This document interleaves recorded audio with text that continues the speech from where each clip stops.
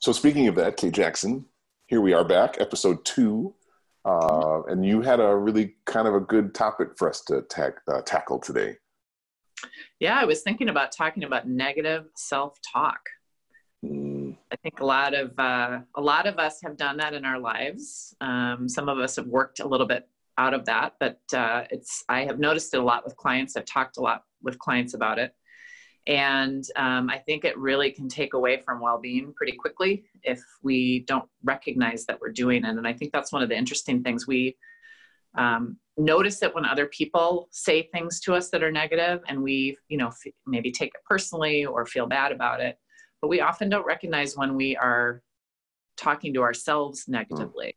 Mm-hmm. And I think some of those key words that pop to my head quickly yeah. are I should be, I can't, I don't know how, you know, those those um, words that I I kind of talk about is like they create burden, like they create weight on your shoulders, and they can really um, change your dynamic in terms of how do I feel today? What can I accomplish? I'm I don't you know you can feel unempowered by using yeah. those words too often. Well, and you you said yeah I I, I see it as it holding people back um, you know, again, my world, you know, sort of the health fitness sort of piece. Um, I've worked with so many people and, and men and women, both sides, where their lack of self or negative self talk has prevented them from feeling like empowered to actually do something or you know for everybody who's come through my door that i've been able to work through that i know that there's a thousand people behind them that would never think oh i shouldn't do that i can't do oh, those are, well, that's weights. Oh, I shouldn't be lifting.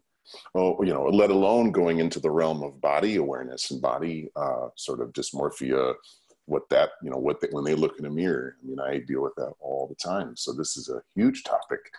Um, how would you, going back to some of those keywords that you talked about, how, what would be your thoughts or advice around, you know, what are some first steps that somebody might take? Yeah. So the thing that I often talk to people about, and I actually did this myself. I, I tested myself on this this um, chip of my that I'm going to give you today, which was a few years ago. I noticed, took notice, decided to take notice for a day, how often I said to myself, "I should be doing blah blah blah blah blah," and uh, it was quite shocking. I I said should a lot and noticed that it was really truly creating burden for me. It just felt like a um, blaming or shaming word to me. So the ne- very next day, what I did was, um, as I became aware of how often I was saying should, in the moment, if I could catch myself, I would actively sort of intentionally stop myself and say, okay, what what word can I replace that with? So, for instance, like, oh, I should have walked the dog today. Instead of you know, changing that and say, well, I, I'm going to walk the dog in 30 minutes, or I will walk the dog at a different time tomorrow.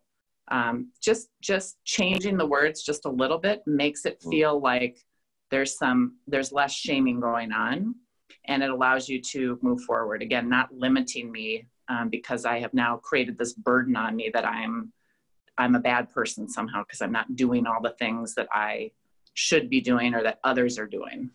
Well, and I love that self-awareness piece. I mean it all starts there.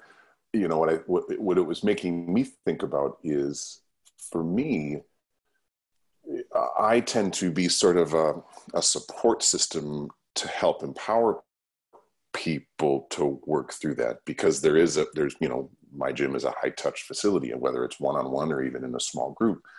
So you know in that initial consult and building that relationship with somebody I'm always listen. I'm always fascinated with word choices. We we talk about that all the time together, you and me.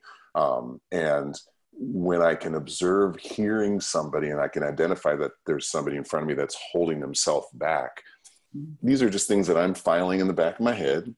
And we're going to just start our path together and we're going to start the path as gentle as or as appropriate as we need to. And we're going to walk together. And the way I sort of visualize it, that I've, you know, and I've seen this with, I don't want to say hundreds, but a lot of people and there's nothing more fun for me and, and validating and um, fulfilling is to help somebody get through that.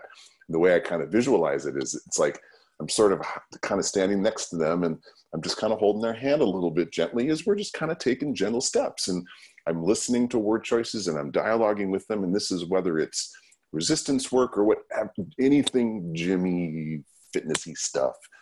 And then I'm just sort of like helping them or holding their hand a little lighter like maybe it's just a couple fingers then maybe it's like a pinky and then they're maybe getting a half a step ahead of me and then another two steps and then i'm just sort of letting kind of just mm. letting them go and i'm always here and that relationship that that trust that we've built to me seems like that really key catalyst at least in my world that helps that person look back now and be like what am I doing? I never thought, I, I can't tell you how many times I've heard, I never thought I could do these things. I would, mm-hmm. oh my, you know, and, th- and knowing how that permeates into their entire world is so fun and so validating and empowering for why I do what I do. I, I love that. I love that. Fun. Yeah, I think that that's such a good example too, because um, there is such a uh, like a, an obstacle, a wall, a limitation that people put in their minds of their own narrative that they don't even recognize they're keeping themselves from doing something. Mm-hmm. And again, it's that self-talk of I I shouldn't. I mean, even when I started with you, working with you in the gym, I had never worked in doing any weightlifting, none. And part of that was because as a young person growing up, I would go into a large gym and the only people that were over doing weightlifting were really big muscly dudes. And i'm yep. like i don't belong there. That's not that will never be something i do.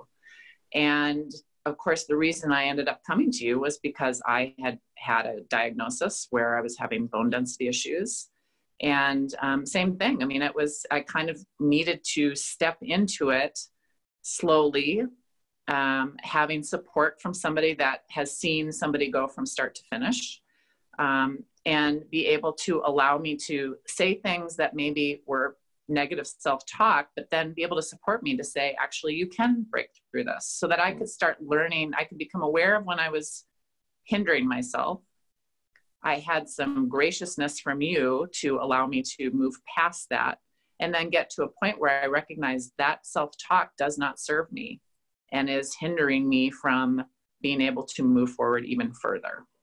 I love, yeah, it, really is so much about. I feel like so many of our episodes are going to come back to that self awareness piece mm-hmm. and just, just, no judgment just start to listen and just observe and just be open and don't you know.